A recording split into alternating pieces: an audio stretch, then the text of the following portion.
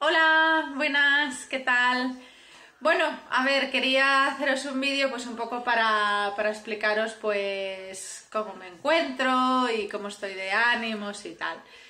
Bueno, eso sí el gato me deja porque me estaba boicoteando el vídeo, o sea, he tenido que hacer otro porque era algo exagerado.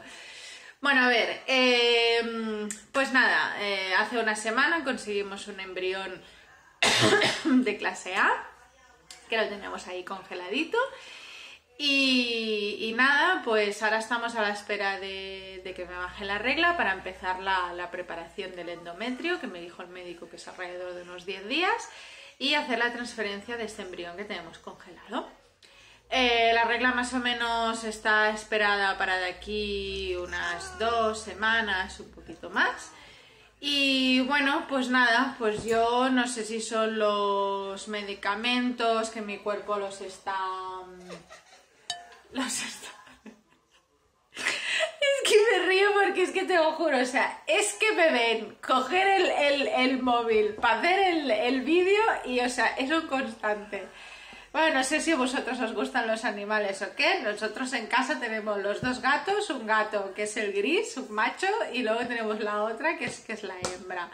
Y, luego el perro, estamos ya cubiertos. Pues nada, eso. Y bueno, pues que no me encuentro muy bien. Estoy... Mm, físicamente hoy me duele muchísimo el estómago. Ah, tengo los ovarios así como, como que me molestan también. No sé si es que me tiene que bajar la regla otra vez, porque, bueno, no sé si os acordáis que se me...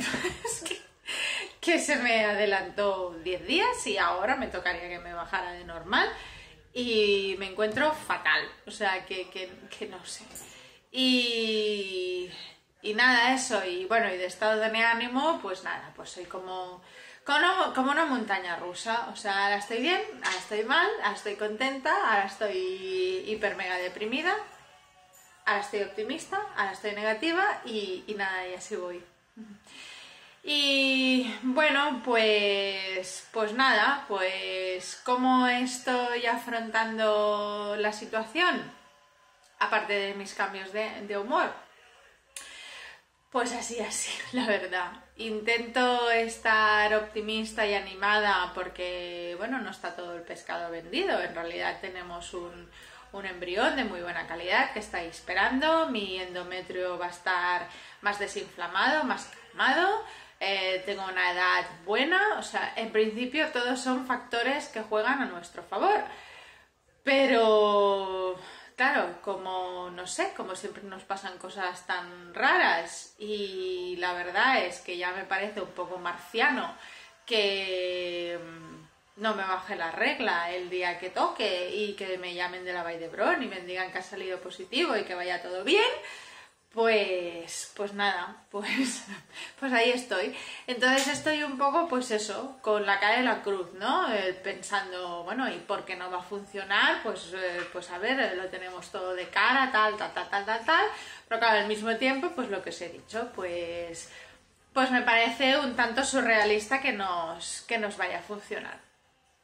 Y nada, pero bueno, os prometo que intento estar optimista y cada día me enciendo una velita y el otro día fui a Montserrat, que es una virgen muy conocida y bueno, a pesar de que yo no soy religiosa, no os voy a engañar, pero ya fue como un poco de decir, bueno, vamos a, quemar todos los frentes, ¿sabes? Y, nada, bueno, fui a Montserrat y puse una vela y todo.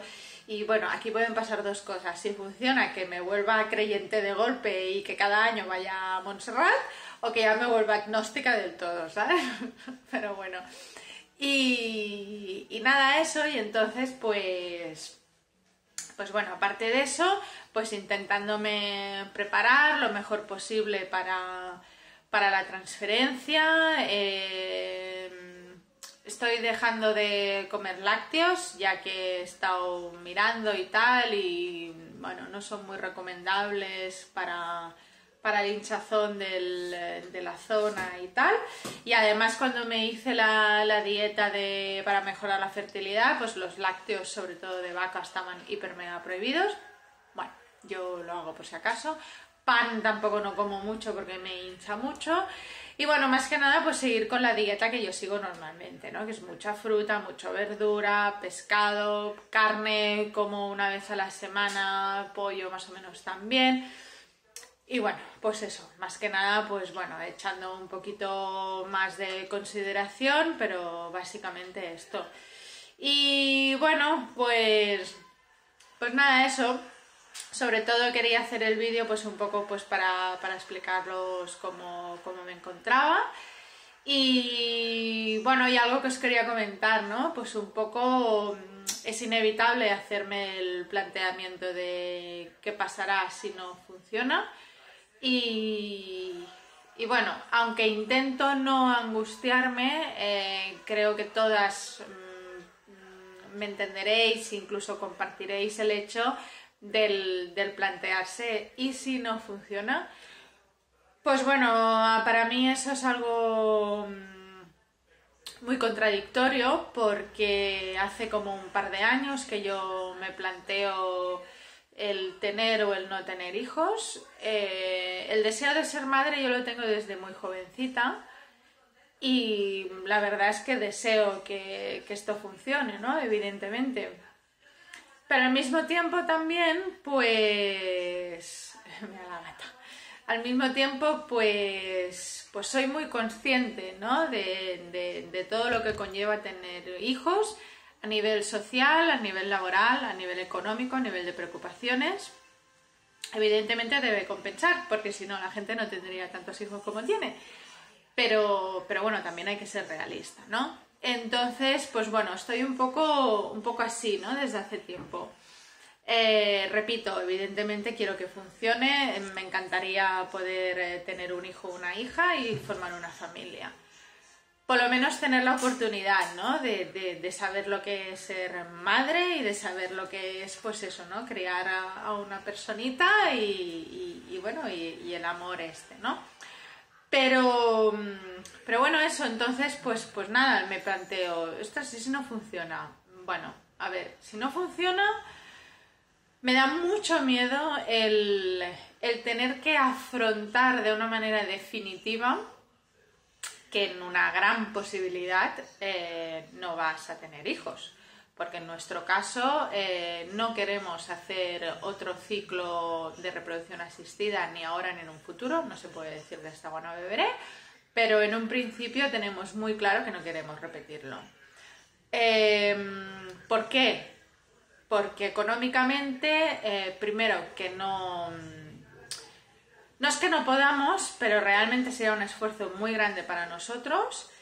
Y, si os soy sincera, después de viendo los resultados que hemos obtenido, a ver, no me malinterpretéis, no quiero decir que no compensa, porque evidentemente si al final consigues tu objetivo, que es tener un hijo, evidentemente que te compensa, pero claro, eso no lo sabes. Entonces, obtener los resultados que obtenemos en proporción al gasto económico, al gasto emocional y al gasto físico, a día de hoy no nos compensa, ¿vale? Espero que haya quedado claro. Y, adoptar es algo que nos planteamos en su momento, pero tampoco no nos acaba de, de gustar mucho porque, porque, bueno, también requiere de un gasto económico y es un procedimiento bastante complicado. Y, y, nada, eso, entonces, pues, pues claro, de algo, y mi marido es prácticamente imposible que, pueda tener hijos de una manera natural. Entonces, pues nada, al final, pues es eso, ¿no? Si no funciona, es aceptar que de una manera mm, casi segura eh, no vamos a tener hijos. Por un lado, pienso, bueno, ¿y qué pasa, no? O sea, no, no pasa nada, nosotros estamos bien ahora mismo, somos felices, tenemos una vida plena, estamos bien pero claro, aceptar, aceptar esto pues es complicado.